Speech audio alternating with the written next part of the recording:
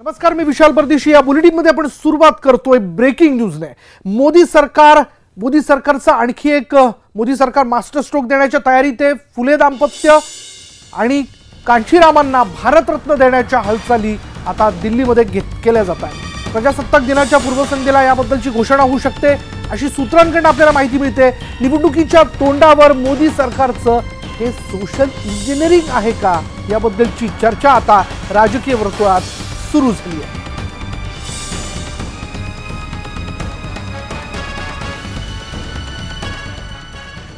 आर्थिकदृष्ट्या मागास सवर्णांना दहा टक्के आरक्षणाचा घटनादुरुस्ती कायदा मंजूर करून दिवस उलटत नाही तोच मोदी सरकार आणखी एक मोठा धक्का देण्याच्या तयारीत आहे. फुले दाम्पत्य आणि काशीरामांना भारतरत्न देण्याची तयारी सरकार करत असल्याची सूत्रांची माहिती आहे. सवर्णांनंतर आता दलितास्त्र मोदी सरकारचा सोशल सर्जिकल स्ट्राईक जब मैट क्लोज होता है तो छक्का लगता है। तो अगर आपको उसी पर परेशानी है तो ये पहला छक्का नहीं है और छक्के आने वाले। रविशंकर प्रसाद म्हणतात ते अगदी खरंय. सवर्णांना दहा टक्के आरक्षण देऊन खुश केल्यानंतर मोदी सरकार आता दलितांची मनं जिंकण्यासाठी सरसावलंय. सवर्णांसाठी आरक्षणाचं अस्त्र अजमावल्यानंतर आता दलितांना खुश करण्यासाठी पुरस्काराच्या अस्त्राची चाचपणी सुरू झाल्याची माहिती सूत्रांनी दिली आहे. महात्मा फुले सावित्रीबाई फुले कांशीराम. दलित बहुजन आणि महिलांच्या उद्धारासाठी आयुष्य झिजवलेल्या महात्मा फुले आणि सावित्रीबाई फुलेंना भारतरत्न पुरस्कार मिळावा ही मागणी गेल्या अनेक वर्षांपासून होते. तर दलितांना राजकारणाच्या मुख्य प्रवाहात आणणारे बसपाचे संस्थापक काशीरामांना भारतरत्न देण्याची मागणी मायावतींनी काँग्रेसच्या काळापासून लावून धरली होती. आता भाजपनं ऐन निवडणुकीच्या तोंडावरच यासाठी हालचाली सुरू करून दलित आणि ओबीसी राजकीय वोट बँकेलाच हात घालण्याचा प्रयत्न चालवला. मोदी सरकारने हा दहा टक्के आरक्षणाचा जो निर्णय घेतला आहे त्याचा सर्वाधिक फायदा देशातला जो तळागाळातला माणूस आहे जो खरा गरीब आहे त्याला याचा खरा फायदा मिळणार आहे. पण या निर्णयाचा भाजपाला निवडणुकीत फायदा होणार आहे. प्रजासत्ताक दिनाच्या पार्श्वभूमीवर पंचवीस जानेवारीच्या दरम्यान ही मोठी घोषणा होऊ शकते. हा निर्णय घेतला तर दलित आणि ओबीसींमध्ये चांगला संदेश जाईल अशी मोदी सरकारला आशा आहे. दुर्बल लोक असे खूप आहेत. ते ह्या सगळ्या सोयींपासून किंवा लाभांपासून वंचित होते विशेषतः शिक्षणात आणि नोकऱ्यांमध्ये. तर मोदी सरकारने हा निर्णय घेतल्यामुळे ह्या वर्गातल्या गरीब लोकांना त्याचा फायदा मिळणार आहे आणि त्याचा निश्चितच बी जे पीला निवडणुकीत फायदा होईल.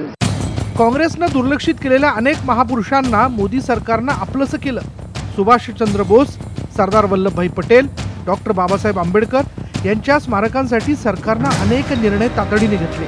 त्याला जोडूनच मोदी सरकारचा हा मेगा प्लॅन आहे. Prashant Leela रामदाससह bureau report news eighteen Lokmat Mumbai. पुढे बघूया तुझं माझं जमेना आणि तुझ्या वाचून करमेना ही भाजप शिवसेनेची अवस्था आहे. शिवसेनेनं डोळे वटारायचे झिडकारायचं आणि भाजपनं कुरवाळायचं. असं सगळं राजकीय चित्र तुम्ही टी व्हीवर बघत असाल. पण या पडद्याच्या मागे दोघांमध्ये खलबतं सुरू असल्याचा आरोप राष्ट्रवादीनं केला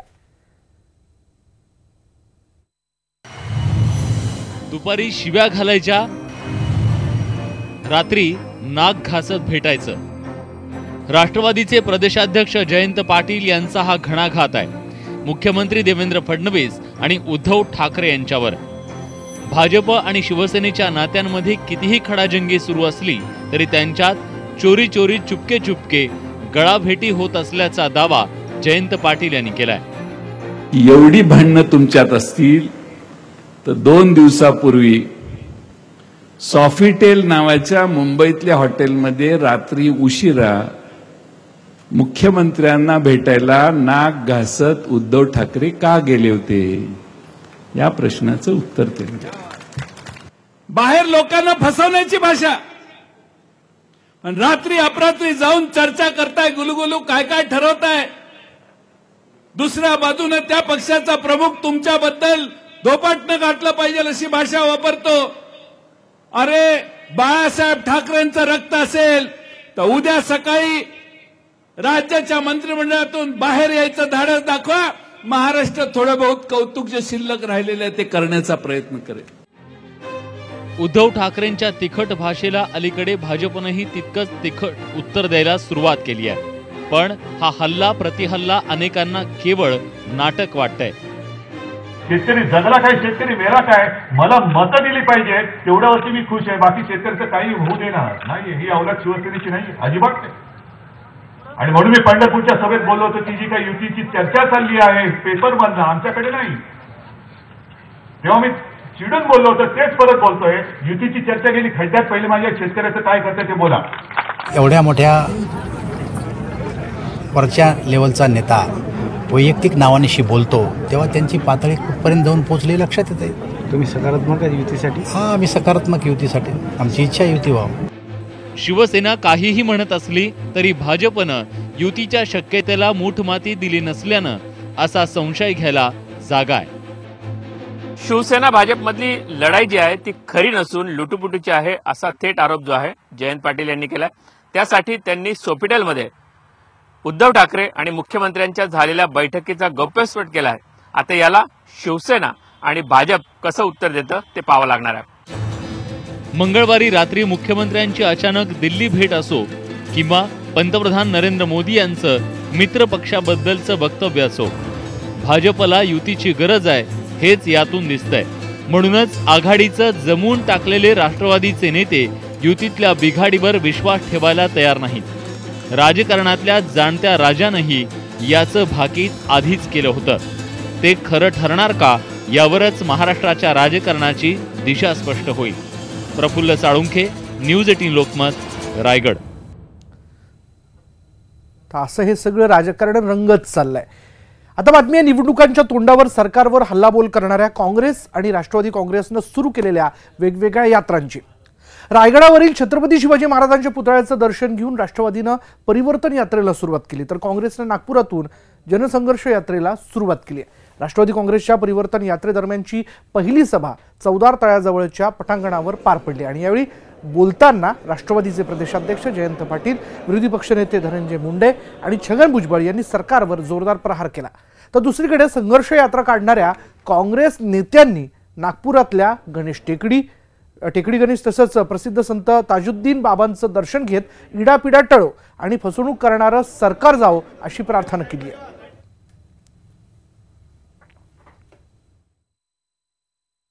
किसानों को उत्पादन खर्चा होता है, उससे डेढ़ गुना पैसा मिलना चाहिए। मिलना चाहिए कि नहीं मिलना चाहिए? मैं आपसे पूछता हूँ, मिलना चाहिए कि नहीं मिलना चाहिए? अरे, मिलना तो चाहिए, मगर है किधर?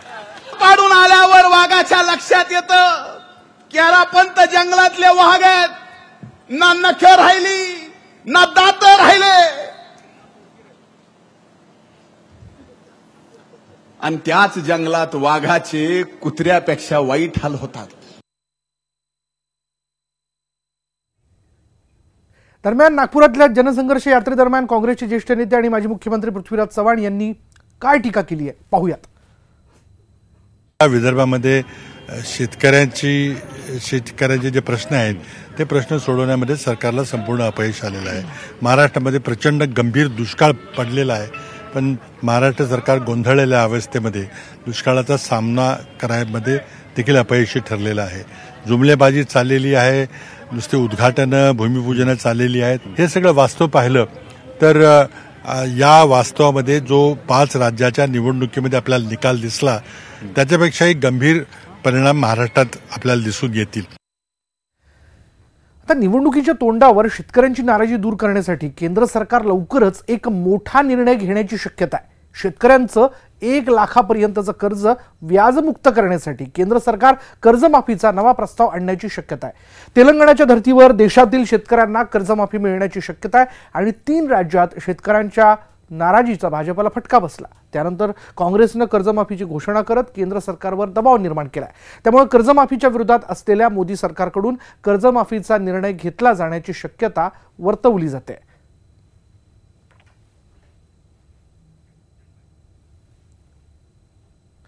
आता सरकारकडून किती योजनांच्या घोषणा झाल्या तरी त्या राबवणारी यंत्रणा जी आहे ती निबर कात्रीची असल्यास ती योजना जनतेपर्यंत पोहोचत नाही परंतु लोक व्यवस्थेच्या दारावर पाय रोवून मरतात पण त्यांना न्याय मिळत नाही.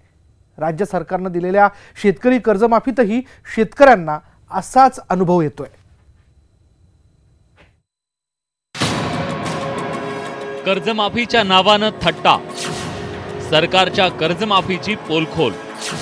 शेतकऱ्यांना कर्जमाफीची फक्त प्रमाणपत्र. आवाज उठवल्यावर शेतकऱ्याला कर्जमाफी. मोठा गाजावाजा करत सरकारनं जाहीर केलेल्या कर्जमाफी योजनेची पोलखोल झाली आहे. वर्षभरानंतरही कर्जमाफीतला सावळा गोंधळ संपलेला नाहीये. बीडमधल्या सभेत शिवसेनेचे पक्षप्रमुख उद्धव ठाकरेंनी कर्जमाफीतल्या कारभाराचं पितळ जाहीरपणे उघडं पाडलं. अंजनडोह बाळासाहेब हरिभाऊ सोळंके हे कर्ज कर्ज माफीचं प्रमाणपत्र आहे. म्हणजे एक शेतकरी मला मिळाले की नाही मिळाला? त्याला सर्टिफिकेट मिळाले की नाही? पण कर्जमाफी झाले का? झाले का सांग झालं तू. कर्जमाफी झाले? नाही झाली. हा खोटेपणा कोण करतोय? कोणासाठी करतोय? ह्या गरीब सगळ्या आपल्या अन्नदात्याला तुम्ही असं खोटं खोटं बनवून बोलून फसवताय? उद्धव ठाकरेंनी जाहीर भाषणात कर्जमाफीची पोलखोल करताच कुंभकर्णांना खाडकण जाग आली. आणि केवढा चमत्कार बघा पाच तासांच्या आत शेतकऱ्याच्या खात्यावर पैसे जमाही झाले. माझ्या कर्जाची दखल घेत माननीय उद्धवजी ठाकरे साहेब यांनी मला योग्य तो न्याय मिळवून दिला व एस बी आयचे मॅनेजर शाखा प्रमुख यांनी मला ठीक सात वाजून सेहेचाळीस मिनिटाला तुमच्या कर्ज खात्यात रक्कम जमा झाली म्हणून फोनवर सांगितली. प्रशासनाच्या भोंगळ कारभाराचा जाब विचारण्यासाठी शेतकरी बाळासाहेब सोळंकेंना घेऊन शिवसैनिक बँकेत दाखल झाले. त्यावेळी बँक व्यवस्थापकानं दिलेलं निबर कातडीचं हे उत्तर ऐका. याचा अर्थ असा झाला का साहेब? म्हणजे कर्ज माफी झाली परंतु त्याची रक्कम आपल्याकडे जमा झाली नाही. हा तसंच. कर्ज माफीसाठी पात्र होते म्हणून त्यांना ते सर्टिफिकेट दिलं. हो पात्र फक्त सर्टिफिकेट देऊन बोलवून केली का हा. त्यांनी? पात्र आहेत ना इथे लिहिलं असेल ना नाही पात्र होते. पात्र आहेत. एवढं करूनच कर्जमाफी झाली असा त्याचा अर्थ नाही, नाही, होता. नंतर ते- त्यांच्या अकाउंटला जमा व्हायचेच होते अजून. पेपरातून वाचलेली आणि टीव्हीवर ऐकलेली कर्जमाफी मिळवण्यासाठी गावखेड्यातला शेतकरी बँकांच्या दारावर धडका देतोय आणि सरकारी व्यवस्था नुसती कागदी प्रमाणपत्र माथ्यावर मारून नियम आणि अटींच्या जंजाळात अडकवून या शेतकऱ्यांची थट्टा करते हेच या सगळ्या प्रकरणातून समोर आलंय. Suresh जाधवसह bureau report news eighteen Lokmat Beed.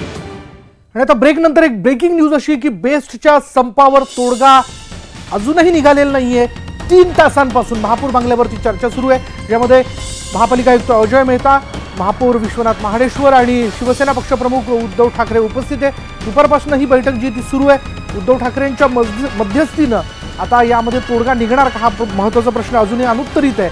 अधिक माहिती आपण जाणून घेणार आहोत. आमचे प्रतिनिधी विवेक कुलकर्णी आपल्यासोबत आहेत. विवेक तीन तासापासनं ही संपाच्या संदर्भात म्हणजे संपावर काय तोडगा काढायचा या संदर्भात ही बैठक सुरू आहे. काय नेमकी माहिती याबद्दल? विशाल गे खरं तर साडेतीन तास झाले ही बैठक सुरू आहे. शिवसेना पक्षप्रमुख उद्धव ठाकरे महानगरपालिका आयुक्त अजय मेहता बेस्टचे महाव्यवस्थापक सुरेंद्र बागडे यांच्यासह मुंबईचे महापौर विश्वनाथ महाडेश्वर यांच्या दरम्यान चर्चा सुरू होती. साधारणतः तासाभरापूर्वी कामगार नेते शशांकराव हे देखील पोहोचलेले आहेत. मात्र त्यांनी देखील स्पष्ट केलेलं आहे की मी आता चर्चा करेन पण त्यानंतर कर जे ते कामगार आहेत बेस्टचे कर्मचारी आहेत त्यांच्या त्यांना जाऊन या बैठकीत नेमकी काय चर्चा झाली ते सांगेल आणि त्यानंतर बेस्टचे कर्मचारीच या संदर्भातला निर्णय घेतील. तीन दिवस झाले खरं तर मुंबईकर वाट बघतायत की बेस्टचा संप कधी मिटेल पण अजूनही या गोष्टीवर तोडगा निघालेला नाही. असंच आपल्याला दिसतं की आत त्यांच्यासोबतच समर्थ कामगार सेना आहे जी नारायण राणे यांची संघटना आहे. त्यांचे देखील लोक आहेत. आता या बैठकीमध्ये नेमका काय तोडगा निघतोय हे बघावं लागेल. अजून एक मुद्दा खरं तर या बेस्ट कर्मचाऱ्यांचा आहे की मेस्मा अंतर्गत या कर्मचाऱ्यांना घरं रिकामी करा. अशा देखील नोटिसा पाठवण्यात आलेल्या आहेत. त्याबद्दल देखील बेस्ट कर्मचाऱ्यांमध्ये तीव्र संताप आहे. त्याबद्दल देखील चर्चा होण्याची चर्चा इथं होईल. आणि यातून नेमका काय तोडगा निघतो हे बघावं लागेल. कारण मुंबईकरांना या सगळ्या गोष्टीचा त्रास होतो आहे. आणि त्याचबरोबर बेस्ट कर्मचाऱ्यांच्या मा- मागण्या देखील नाही आहेत असं मुंबईकरांचं म्हणणं आहे. पण यातून तोडगा निघाला पाहिजे अशी सगळ्यांची भावना आता खरं तर रात्र होत आलेली आहे. बरोबर. या बैठकीत नेमकं काय होते आणि कामगारांना जाऊन शशांकराव सांगितल्यानंतर त्यातून काय निष्पन्न होतं हे पाहावं लागेल. विशाल. माकडाचं शेपूट गळून माणूस झालेल्या गोष्टीला आता काही हजार वर्ष उलटली आहेत. पण आजही माणूस कसा बघतोय बघा. बिबट्या आणि माणसातला संघर्ष अधोरेखित करणाऱ्या या दोन वेगवेगळ्या घटना. गोंदियातल्या घटनेनं माणसामध्ये दडलेल्या जनावराचं दर्शन घडलंय. तर साताऱ्यामध्ये बिबट्याला वाचवण्यासाठी प्रयत्नांची पराकाष्ठा करणाऱ्या कर्तव्यनिष्ठ वनाधिकारी पाहायला मिळालेत.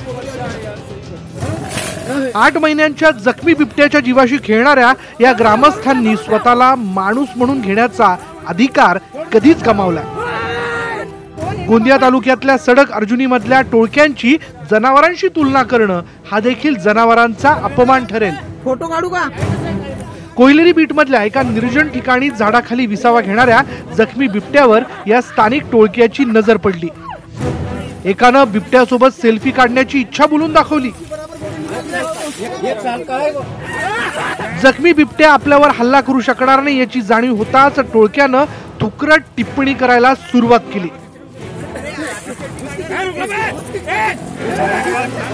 एका पठ्यानं बिबट्याच्या शेपटीला पकडून फरफटत त्याला मोकळ्या जागेत आणलं. आणि त्यानंतर त्याच्यासोबत सेल्फी काढायला सुरुवात केली. फोटो काढू का? टोळक्यानं केलेल्या अत्याचारामुळं या हदबल बिबट्याचा मृत्यू झालाय. या धक्कादायक प्रकाराचा व्हिडिओ सोशल मीडियावर व्हायरल होताच वन विभागानं प्रकाश पुरम लोकेश कापगाते आणि आदिप गोंदिल यांना अटक केली. तर इतर आरोपींचा शोध सुरू आहे. गोंदियामध्ये मानवाच्या अत्याचारामुळे बिबट्याला प्राण गमवावे लागलेले असले तरी साताऱ्यात मात्र विहिरीत पडलेल्या बिबट्याची सुखरूप सुटका करण्यात आली. कराड तालुक्यातल्या खमकरवाडीमध्ये गेल्या काही दिवसांपासून दहशत माजवणारा बिबट्या विहिरीत पडला. बिबट्या पाण्यात पडल्याचं समजल्यावर ग्रामस्थांनी तात्काळ वन अधिकाऱ्यांना पाचारण केलं. बिबट्या पाण्यातून बाहेर यावा यासाठी वन अधिकाऱ्यांनी सुरुवातीला एक लोखंडी खाट विहिरीत सोडली. बिबट्या खाटेवर चढला. त्यानंतर वन अधिकाऱ्यांनी विहिरीत पिंजरा सोडला. वन अधिकाऱ्यांच्या प्रयत्नांना यश आलं. बिबट्यानं पिंजऱ्यात झेप घेतली आणि ग्रामस्थांसह वन अधिकाऱ्यांनी देखील सुटकेचा निश्वास सोडला.